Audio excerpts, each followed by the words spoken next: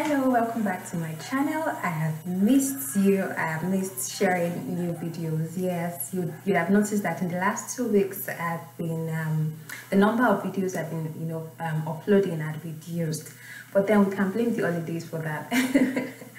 okay then, so um, first of all, I want to say thank you to everyone who has subscribed to my channel within this last um, you know within the past week. I remember that um, was it on Tuesday? I, you know, I was celebrating 67 subscribers, and between Tuesday and now, I have moved to over 100.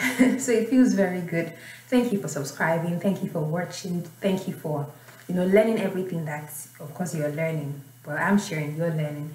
But it feels really good to, you know, belong to something like this. Um, it's been a good year. It's been a, an interesting 2020, 2020, I should say.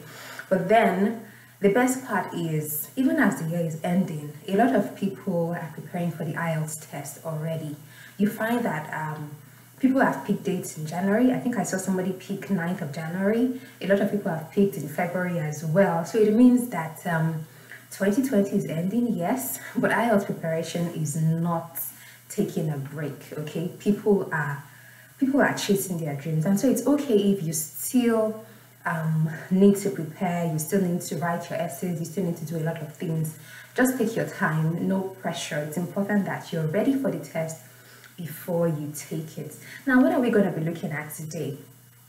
Okay, so based on my experience within this past week, um, I think it's important to talk about the IELTS writing and the confusions that come with it. Now, what do I mean by confusions?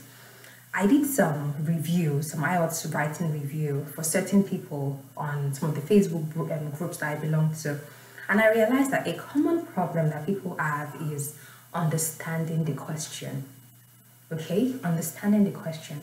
Many people struggle with writing their essays mainly because they struggle with understanding the question. And so you want to ask yourself, do I know what the question is saying? Do I understand what the question is asking me? Because if you do not understand the question, you cannot write correctly. Okay, let me show you this question. This is book 15, IELTS book 15, um, and I'm on page 52. Okay, let me read it to you. It says, um, this is task two. Okay, nowadays many people complain that they have difficulties getting enough sleep. What problems can lack of sleep cause? That's the first question. And the second question, what can be done about the lack of sleep? Okay, so did you get it? It says nowadays many people complain that they have difficulties getting enough sleep. So it's a case of Mr. A and Mr. B and Mrs. A and Mrs. C are saying that they are not sleeping well difficulties getting enough sleep. Okay, so it could be a case of they're not sleeping well, but they're not getting enough hours of sleep. Now, before you attempt this question, before you begin to write, why don't you look at it? What is the question saying to me? So I've just tried to explain it. They are not getting enough sleep. So maybe people should be sleeping for eight hours, as science says, but then you find that people are sleeping for four hours. We know that in places like Lagos, this is Nigeria. so, you know, in places like Lagos, people get home maybe around 11 p.m. Sometimes it can be later than that. And then many people have to be out of their houses, like out of bed, let's say around 3, 4. You need to be out of the house around 5, you know, if you're going by public transport. So come on, calculate how many hours. That's 12, 1, 2, 3. That's barely 5 hours, 4 hours of sleep. Okay? So you know, with that understanding, now move on to the question, what you're meant to do. The first part says, what problems can lack of sleep cause? So it's a case of, if I don't sleep well, what can happen to me? It's possible that um, I won't deliver at work. It's also possible that I'll become stressed and I'll fall sick. Do you, do you see what I'm doing? I'm making the question personal. I'm trying to understand it from my own world, my own reality, okay? That's how you understand the question. And then the second part says, what can be done about lack of sleep? So it's like, okay, so what's the solution? Okay, so would it be moving to a place, a location closer to where your workplace is? Would it be um, maybe taking some like leave or something? Or can it even be a case of um, just making sure that you get home early And even if it is not work related, maybe you spend some more time, you know, watching TV late into the night, or maybe it's even related to health issues. You know, you can consult medical professionals. What do you think I just did? I've tried to personalize the question so that I can understand it.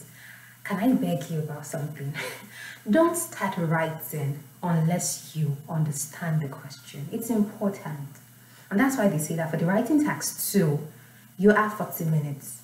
Honestly, spend the first 10 minutes thinking, understanding the question, getting your point. As soon as you're through with the 10 minutes, spend the next 20 minutes writing. I can assure you that all you'll be doing is building up the points you already had, more like forming sentences out of few words that you previously had. And in the final 10 minutes, all you would do is proofread your writing. I decided to address this because I gave some writing reviews, and most of those essays were basically, how do I say it? Like off point.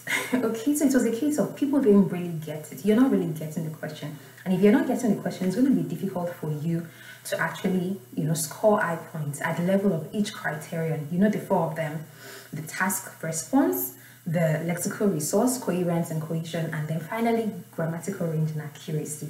So I decided to consider this today so that um, if you're struggling with writing your essays, you can take some steps back to say, first of all, do I understand the question? And did I say that this question I just looked at is a double question or a direct question essay? So it means there are two parts of parts to it. So you have your introduction where you paraphrase, you have your um, body paragraph one, where you talk about the things that lack of sleep can cause. You have body paragraph two, where you talk about how to fix lack of sleep. And then you have your conclusion where you paraphrase what you've written. So that's it for me today. I'm trying to keep it brief so that you don't have to spend some more time listening and all of that, but I'm sure you're learning nonetheless. Once again, I wish you a wonderful new year. It's been wonderful with you this year, and I hope that you know in the new year we'll have many more wonderful things to share with each other. Once again, my name is Adenike Babalola. See you in the next video. Take care. Bye bye.